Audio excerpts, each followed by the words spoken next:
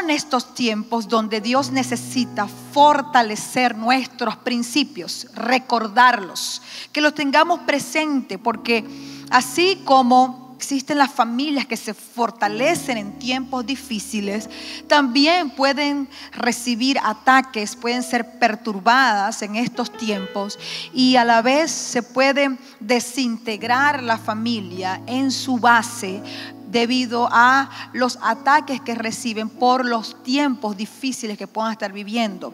Entonces es importante que nosotros entendamos que en los tiempos difíciles o en los tiempos de dificultad, la base o la estructura de la familia, de nuestro matrimonio, de la iglesia, del liderazgo, puede ser movida y es allí cuando nosotros tenemos que estar atentos. Porque cuando hay unidad, cuando hay amor, cuando, eh, cuando existe progreso, avance, expansión en la familia, en los ministerios, en la iglesia, el enemigo siempre está buscando o querer o quiere atacar. Cuando hay un, cuando existe un matrimonio sólido, cuando ah, existe un matrimonio ejemplar, cuando, cuando hay una familia eh, fortalecida en la fe, en el amor, entonces el enemigo busca la manera de querer entrar de cualquier forma con tal de poder mover las bases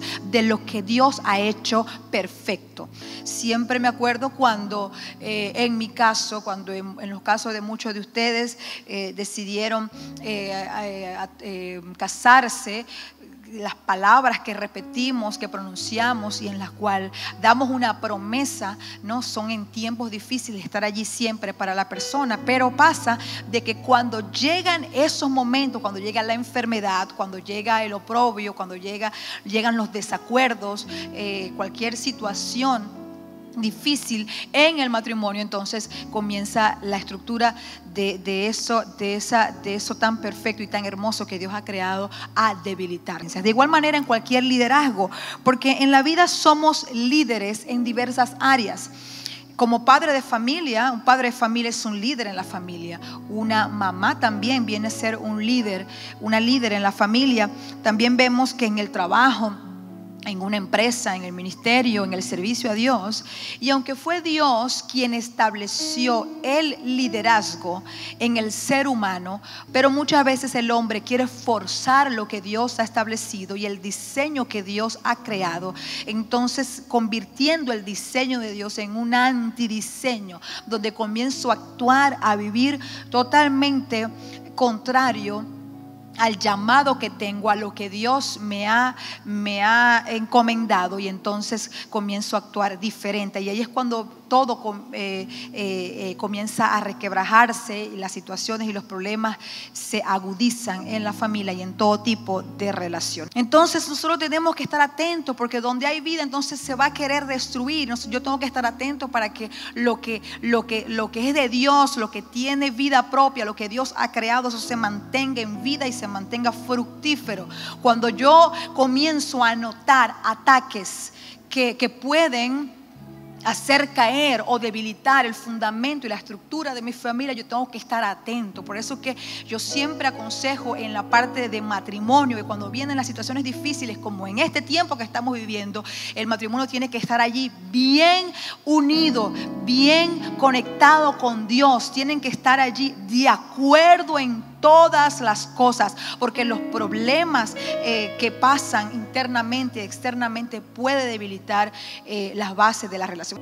Ha sido un, algo bien eh, difícil poder encontrar en estos tiempos personas que se puedan mantener aún eh, con, sus, con su estructura firme, aunque vengan momentos de gran dificultad, pero es allí donde Dios nos quiere alertar y quiere decirnos en esta hora que nosotros tenemos que estar con ojos bien atentos para que el enemigo no tenga entrada alguna para destruir a la familia. Uno de los, de, de los, de los aspectos más notorios que puede traer destrucción en, los matrimonios específicamente es cuando, hay cuando la, la familia se intromete en las decisiones del matrimonio cuando la familia es cercana.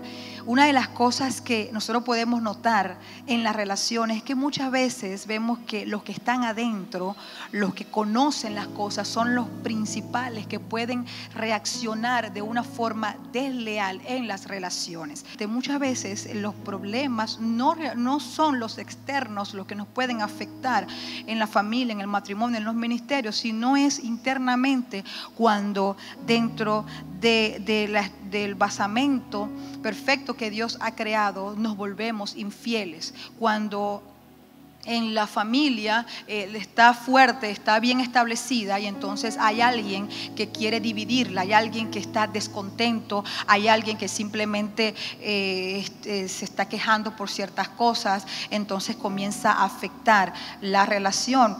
Generalmente no es lo que pasa afuera o no es lo que está eh, en lo exterior que puede afectar muchas veces a la familia, sino lo que está pasando adentro. Entonces, hay una palabra que quisiera leerles aquí, porque si nosotros no estamos atentos a, las maquinaciones del enemigo, por supuesto que podemos caer en las trampas y, eso es lo que Dios no quiere. Fíjense lo que dice 1 Corintios capítulo 4, verso 2. 1 Corintios 4, 2 dice, se requiere de los administradores que cada uno sea hallado fiel. A veces pensamos que el que tenga, mm, el que tenga mayor eh, título es el mejor gerente o será el mejor gerente. Podemos pensar que el hombre o la mujer más guapo o más guapa será el mejor esposo. ¿Será que yo puedo determinar por la belleza de una mujer si será una buena esposa o no? ¿Podré yo determinar eso por su belleza? ¿Podré yo determinar el, que una persona, que un hombre sea un buen esposo porque sea corpulento y porque tenga musculatura? ¿Puedo determinar yo que será un buen esposo? ¿Podría yo determinar una persona que se haya graduado, que tenga tres títulos, cuatro títulos? ¿Podría determinar yo que esa persona será un buen gerente o que será un gran empresario?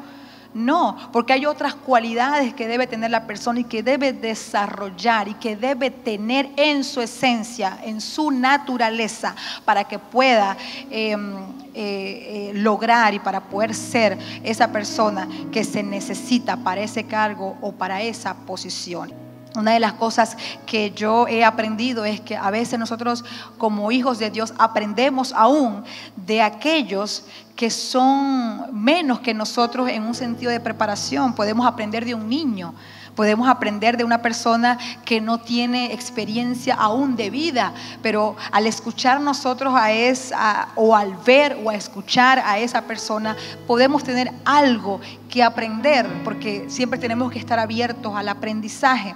Entonces no necesariamente lo que los títulos que pueda tener una persona es lo que hace que esa persona sea, eh, esté capaz para ejercer algún tipo de función, sino que haya, hay principios que necesitamos desarrollar desde nuestro interior que nos permitirá funcionar correctamente, eh, que nos permitirá funcionar agradable delante de Dios y que eso nos llevará a tener éxito y que por sobre todas las cosas es importante ser leales en la gerencia de ese cargo, ¿verdad que sí? Porque eso va a determinar tu futuro en esa empresa, va a determinar tu avance, va a determinar el crecimiento de la empresa también. Porque cuando hay buena gerencia, cuando hay una gerencia también, no solamente buena, sino con un corazón correcto, donde no haya hurto, donde no haya... Eh, eh, em, eh, trampa, donde, donde no se hagan las cosas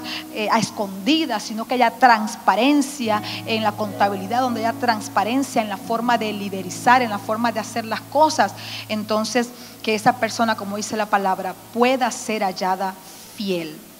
A veces pensamos que lo espiritual solamente se aplica en algunas áreas. No, la palabra de Dios se aplica en todo aun cuando lo que tú puedas tener en tus manos, tu emprendimiento, tu empresa en particular, tu familia, tu matrimonio, eh, tu ministerio, el liderazgo que estás ejerciendo, para todo eso se aplican los principios de Dios, porque para todos eso, e, esos lugares de bendición que Dios nos ha dado, allí tenemos que nosotros desarrollar, cultivar y tratar, y que Dios trate realmente con nuestro corazón para que, para que, para que siempre esté sano y poder desarrollarnos de la forma más agradable posible. Dice la palabra, se requiere que los administradores, que cada uno sea hallado fiel. Por eso que yo pienso y, creo realmente, según lo que la palabra de Dios nos puede enseñar y podemos notar, es que para Dios la fidelidad es tan importante, ¿verdad que sí? La fidelidad. En el matrimonio la fidelidad es vital. En la familia la fidelidad es vital. Porque cuando yo como mamá o como papá o como hermano o como cualquier miembro de la familia hay problemas en la familia y yo vengo y desvirtúo o trato o, trato de sacar los problemas que hay en la familia hablando mal de los miembros de mi familia con mis amistades, con aquello y poniendo en vergüenza lo que está pasando en el hogar, eh, desnudando los conflictos que están en mi casa, porque yo lo puedo hablar con un consejero espiritual, con un líder, yo lo puedo hablar con un pastor para, para buscar ayuda, para buscar un consejo, para que me ayude a tomar una decisión. Pero cuando yo saco esa información para que, los demás sepan y juzgar y señalar y para que todos vean la, como dice la palabra, la, desnudez de nuestros hermanos. Entonces allí estoy entrando más bien en destrucción porque nada de eso que estoy diciendo va a traer solución al conflicto que se está presentando dentro del hogar. Entonces, todo lo que nosotros hagamos tiene que ser con, con, motivaciones correctas, porque Dios nos pedirá cuenta de cada uno de nuestros actos y de cada cosa que Él ha puesto en nuestras manos dirigir. Cuando hay un problema que tenemos que resolver, cuando hay una situación que se tiene que plantear o que se, o que se tiene que poner sobre la mesa, ¿cuál va a ser nuestra reacción y nuestra actitud?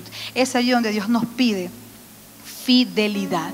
Entonces, tenemos ese caso. También tenemos lo que dice la palabra de Dios en Juan capítulo 14, verso 3, 30, donde el Señor dice allí también, porque viene el príncipe de este mundo y él nada tiene en mí.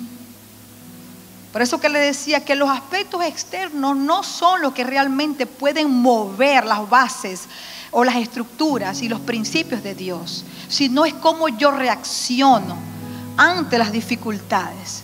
Jesucristo no lo movían los ataques del enemigo. A lo, a lo, que Jesucristo le dolió en gran manera fue la traición de quienes estaban a su alrededor, quienes lo conocían, quienes caminaban con él en todo momento, y ellos fueron los que los traicionaron. Entonces él no le tenía ni miedo ni temor a lo que el enemigo podía hacer, sino él estaba en muchas oportunidades más bien donde lloró en un momento dado, donde se sintió triste en un momento dado, fue realmente en las traiciones de las personas, de quienes estaban a su alrededor. Y es allí donde Dios nos pide cómo estamos nosotros dentro. Hay, estamos caminando bajo un solo filo o tenemos dos caras, tenemos dos filos, tenemos dos frentes. Y es allí donde el Señor pide que nosotros revisemos y examinemos nuestro corazón. ¿Somos gente de un solo frente o somos gente de dos frentes? Donde yo te digo te amo, pero detrás te estoy odiando porque te estoy haciendo cosas que realmente lo único que está haciendo es dañando tu vida. Tenemos que ser personas de misma cara. Tu sonrisa que sea una sonrisa genuina. Tu amor que sea un amor genuino. Amén. Que tu amistad sea una amistad genuina. Que lo que estés desarrollando y lo que estés haciendo sea algo genuino, sea algo que lo quieras hacer con amor y de verdad. Que tu relación sea genuina con tu esposo, con tu esposa. Que podamos hablar de las diferencias, que podamos hablar de los problemas que estamos viviendo y cómo lo podemos resolver. Resolver no es vamos a dividirnos, resolver no es vamos a separarnos, ni tampoco la resolución del conflicto será vamos a divorciarnos. La resolución del conflicto es poner a Dios en el centro. La resolución de todos nuestros conflictos es poner el reino de Dios enfrente. ¿Qué es lo que tiene que hacer Dios aquí? ¿Qué es lo que dice la palabra de Dios con respecto a lo que tenemos que hacer? ¿Cómo se debe solucionar esto conforme al reino de Dios? No conforme al reino de las tinieblas, porque el reino de las tinieblas lo que quiere es pelear. El reino de las tinieblas lo que quiere es la muerte. El reino de las tinieblas lo que quiere es destruir. Pero el reino de Dios lo que quiere es la unidad, la paz, el amor, la bendición, el crecimiento. Eso es lo que quiere el reino de Dios. El armamento canal puede ser la pelea. El, armamento canal puede ser el chisme. El armamento canal puede ser la contienda. El armamento carnal puede ser la difamación, la traición, la deslealtad, pero el armamento espiritual es el amor, el armamento espiritual es el perdón, el armamento espiritual es la reconciliación. El armamento espiritual es el amor, es tener un corazón puro donde yo pueda hablar contigo, donde yo te pueda pedir perdón, donde yo pueda decir, vamos a hablar esto y vamos a solucionarlo. Y no solamente vamos a solucionarlo, sino vamos a dejarlo hasta allí.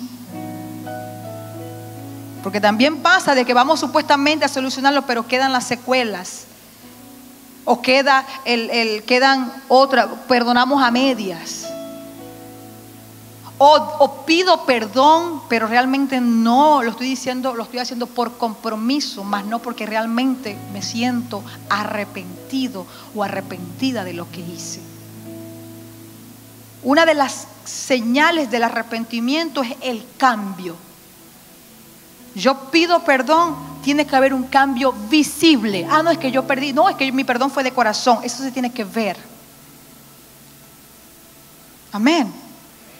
Yo pido perdón, tiene que haber un cambio visible. ¿Qué significa eso? Dice la palabra que el que confiesa su pecado y se aparta alcanzará misericordia. Entonces, si yo confieso mi pecado y me aparto de ese pecado, obviamente, automáticamente tendré cambios en mi vida. Si no hay cambio, el arrepentimiento no fue genuino. Pero si yo en vez de, de, solamente decir perdón por compromiso, sino que yo le digo, perdóname, más bien ayúdame a cambiar esta debilidad, ayúdame en este proceso que tengo, porque yo sé que no está bien delante de Dios ni delante de ti. Y comienzo un trabajo de transformación y le, pido, y le digo al Espíritu Santo y le pido al Espíritu Santo y comienzo a trabajar en ese defecto, en ese problema que tengo, eso se va a notar.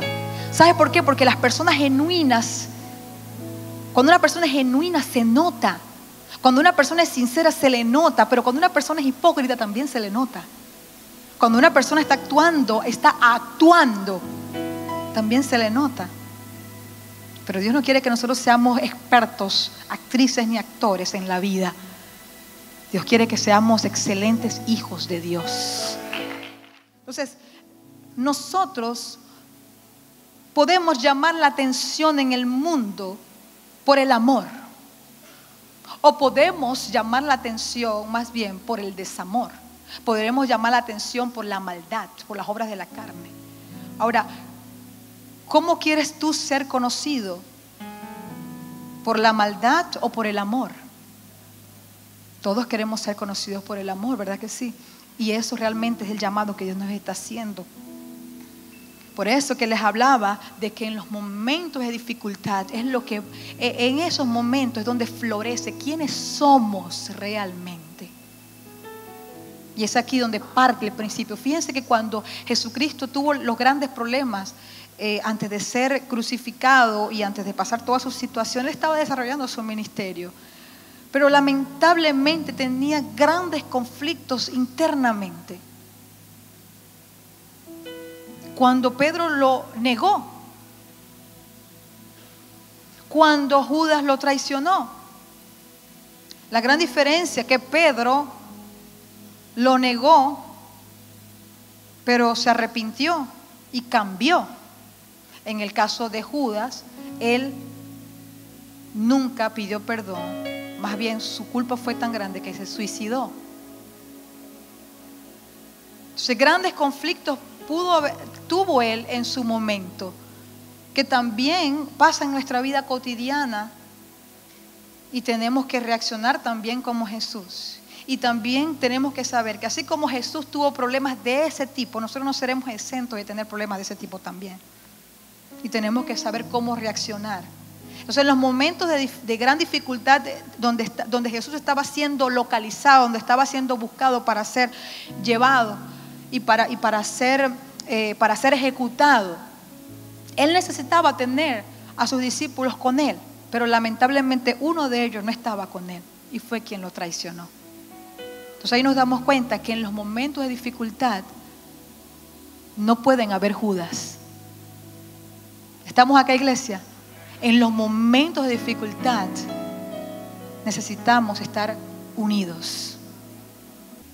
Una persona desleal o una, una persona desleal no se conoce tan rápidamente. Hay un proceso que lleva a que la persona en un momento dado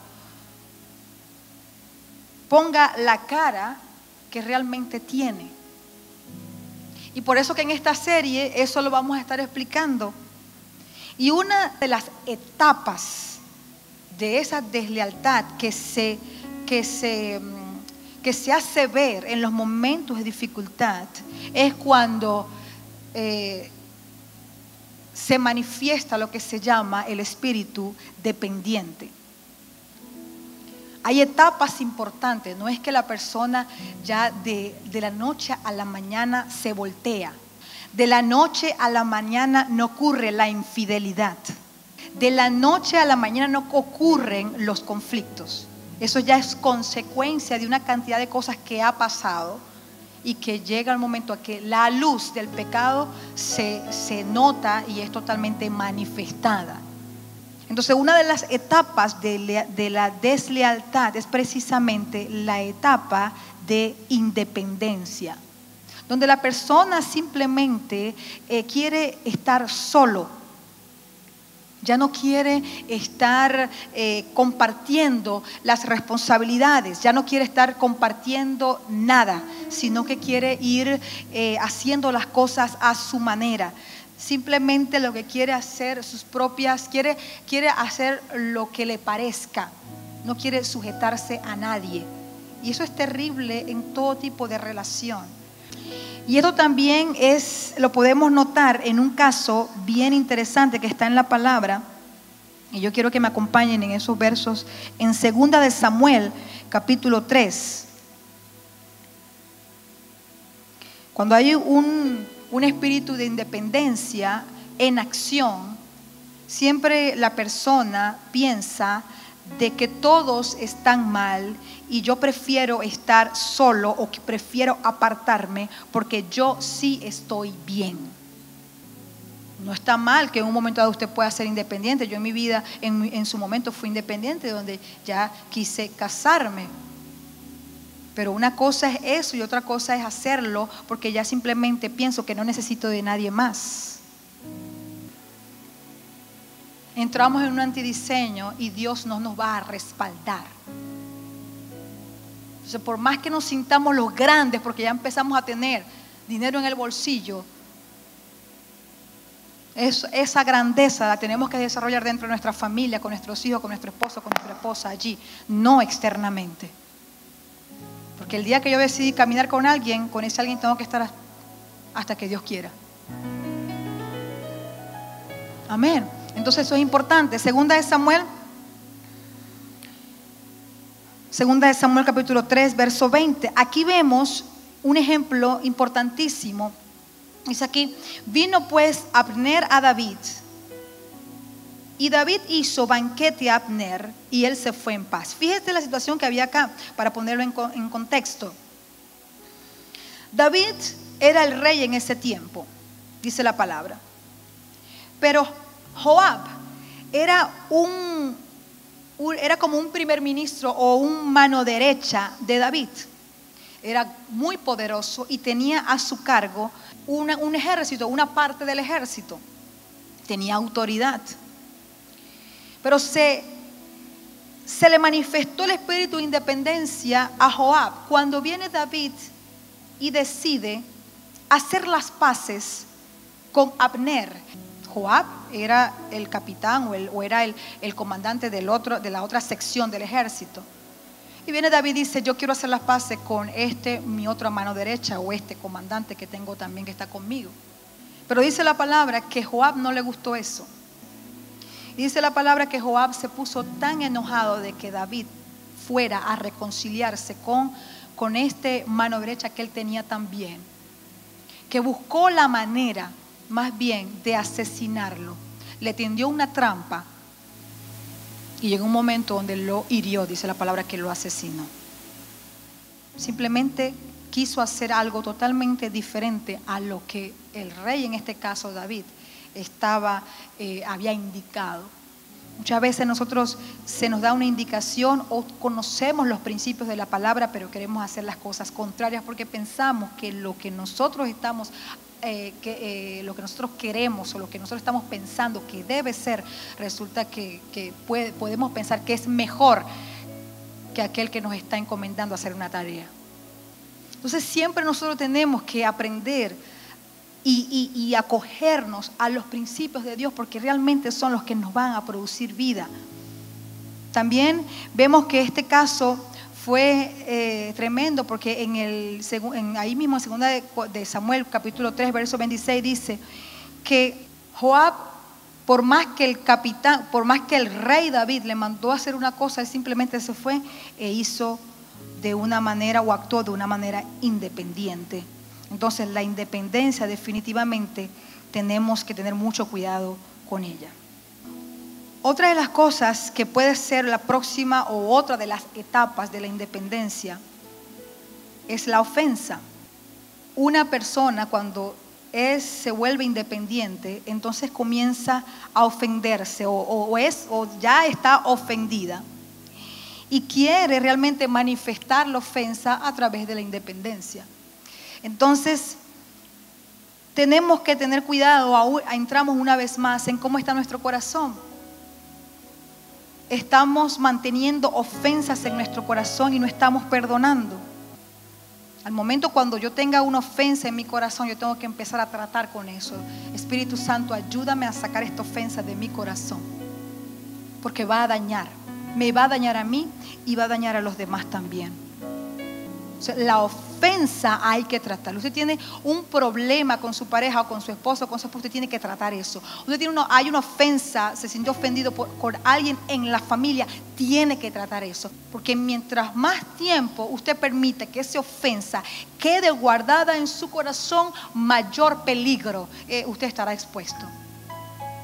Y mayor problema nosotros tendremos, usted tendrá en su vida y yo tendré en mi vida cuando yo acumulo las ofensas en mi corazón, porque eso va socavando día tras día y la ofensa va agrandando de tal manera que se convierte en un monstruo en nuestro ser. Entonces, por más que por más que, que, queremos o vamos o intentamos crecer, no vamos a crecer porque la ofensa no hace crecer. Por eso que hay ofensa en tu corazón, tienes que resolver eso hoy. Amén.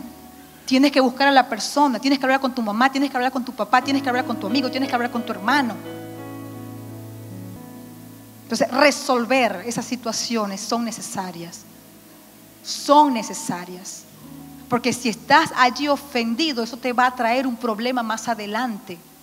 Ahora, si ya no estás ofendido, estás bien, pero si estás ofendido, tienes que hablarlo. Mientras más tiempo dejes esa ofensa en tu corazón, mayor problema y peligro estarás expuesto. Va a ser un problema y va a ser un obstáculo para que crezcas espiritualmente. Te va a truncar, te va a quitar la inteligencia, la sabiduría, la prudencia, todo lo que necesitas para continuar adelante. Todo te lo quita un corazón en rencor, en odio y un corazón está ofendido. Pero cuando usted perdona, cuando usted habla, cuando usted confiesa, cuando usted se reconcilia, hay crecimiento. Hay paz, hay amor, hay tranquilidad, hay libertad. ¿No es así? Tenemos que empezar a cogernos a lo, a lo, a lo que es de Dios, a lo genuino, a lo perfecto, a lo que el Señor quiere para nosotros. Entonces, un valor esencial que tenemos que cultivar es la lealtad en todo en la vida para que Dios pueda bendecirnos y para que Dios pueda hacernos crecer. Después que usted pase por una prueba o por una dificultad o por un gran problema de enfermedad o de situación o, o en su familia o en su matrimonio, en su relación, en su familia, y usted se mantiene allí aguando y se mantiene firme y comienza a caminar conforme a los principios de Dios o en el ministerio, después que usted pase esa turbulencia, su corazón, su vida será mucho más fuerte estará mucho más capacitado, estará mucho más capaz, estará mucho más preparado para seguir adelante y para continuar. Independientemente de cualquier batalla, usted nada lo vencerá, porque está de la mano de Dios, porque ha aprendido a mantenerse firme en medio de las dificultades. Entonces, en medio de las dificultades hay que agarrarse bien duro, hay que agarrarse bien duro de Dios.